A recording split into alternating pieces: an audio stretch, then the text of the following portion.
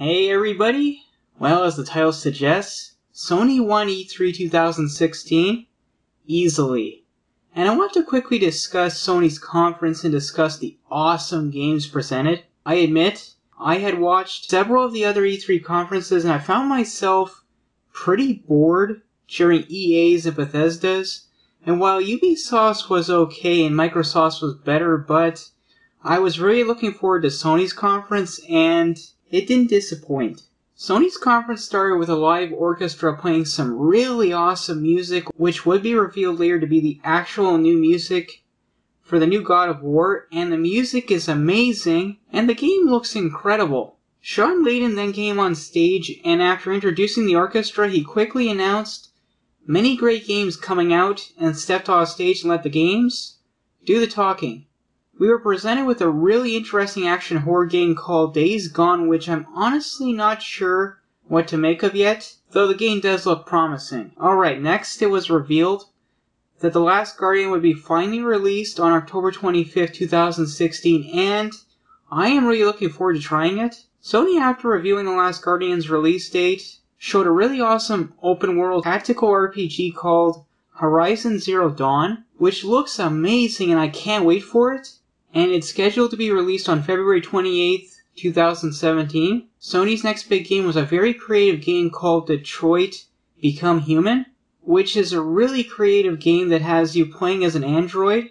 And the game's core mechanic is a choice based system, meaning different choices we make as the player can change the outcome of a situation, and the game looks really creative. And I'm really looking forward to trying it. Alright, next, Sony showed off a demo for a first person horror game that has full VR support. And while I was wondering if it was possibly a Resident Evil game, but I wasn't sure until when, in Roman numerals, the number 7 was shown. Then the title Resident Evil Biohazard appeared, and that was a really amazing surprise.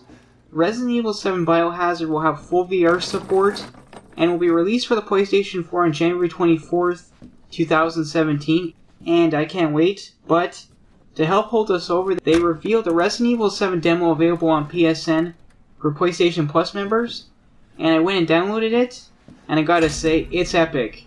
Capcom, you're taking Resident Evil back to its horror roots, and that's exactly what we wanted. Alright, after the major Resident Evil surprise, Shawn Layden came back on stage and revealed PlayStation VR launches October 13th, and it was revealed that over 50 VR titles are coming out this year, and then we got to see many of the VR games, including a really solid looking one called Farpoint, which looks like a survival exploration game, and it looks good. Sony revealed several more VR titles, including a Star Wars Battlefront X-Wing VR mission, which looks good, but I don't think it's going to be its own game.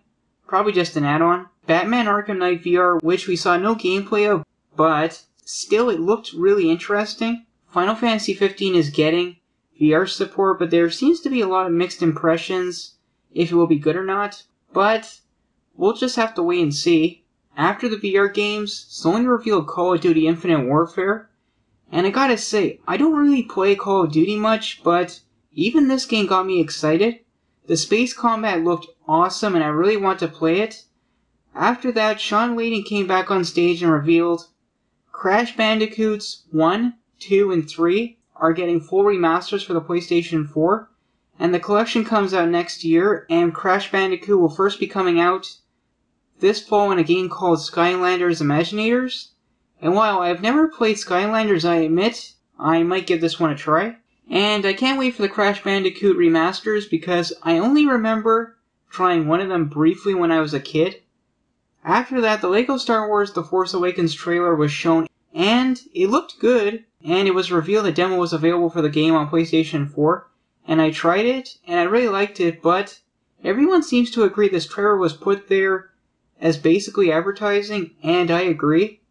Alright, after that, Andy House came on stage and introduced the legendary game designer Hideo Kojima, who got a hero's welcome, and he revealed the trailer for his new game, Death Stranding, which apparently Sony gave him a blank check for, but I will say if that's true, it's going to be money well spent. The trailer was creative and features a naked Norman Reedus, and while clearly whatever this game is, is nowhere near release, but it does look interesting.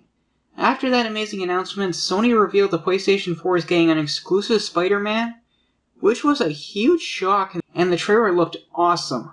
Now, Sony ended the conference by showing a gameplay of the game Days Gone, which was a bit of a surprise, and it is being speculated Sony was going to reveal PlayStation 4 Neo, but backed out because of the Xbox One Scorpio's insane specs, but I will discuss that in another video. Sony's conference ended showing a fast showcase of all the upcoming games, and there is a lot. And that was the end of Sony's awesome press conference. Alright, as I said at the beginning, Sony won E3. Their conference was outstanding and they nailed the presentation by just showing game after game after game. I was blown away that I ended up pre ordering The Last Guardian, Horizon Zero Dawn, Detroit Become Human, and Resident Evil 7 Biohazard. And believe me, there are more I plan on getting. My only real complaint is I really wish Sony would have given some of the smaller VR titles like Rez Infinite or even Until Dawn Rush of Blood, which surprisingly got no real showcase at all. But these are really minor complaints. All around, Sony's conference got me really excited and I can't wait for the awesome games they're releasing. Thank you, Sony, you say E3. I might have some more E3 discussion videos up soon, I'm not sure yet. I'll talk to you guys later.